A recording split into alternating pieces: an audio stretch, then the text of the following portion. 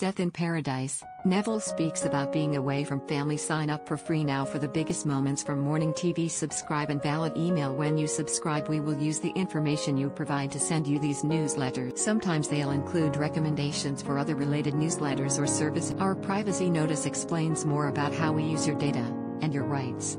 You can unsubscribe at any Death in Paradise is airing in a special Friday night slot this week on the BBC as a stag do turns deadly. The show once again features the usual cast of recognizable guest stars. Here's everything you need to know about the Who stars in Death in Paradise Season 10, Episode 7. The latest episode of Death in Paradise will be released on BBC One on Friday, February 12 at 9 p.m. This follows on from last week's double bill of episodes where both Sara Martins and Ben Miller return. The new outing sees the team once again working on a murder investigation after someone winds up dead. The synopsis reads A stag do goes awry when the host of their fishing trip is found harpooned on a beach the next morning. But as their boat never moved, how could any of them have done it? Skip Marsden. Sean Gilder Detective Neville Parker and his team must investigate the death of Skip Marsden when he is found dead. He was murdered by a harpoon to the chest in the perplexing case, which leaves the detective stunned. Sean Gilder stars as the local fisherman and is recognizable for appearing in shows like Our Girl, White House Farm, and Poldark. He also starred in 52 episodes of Shameless as Paddy Maguire.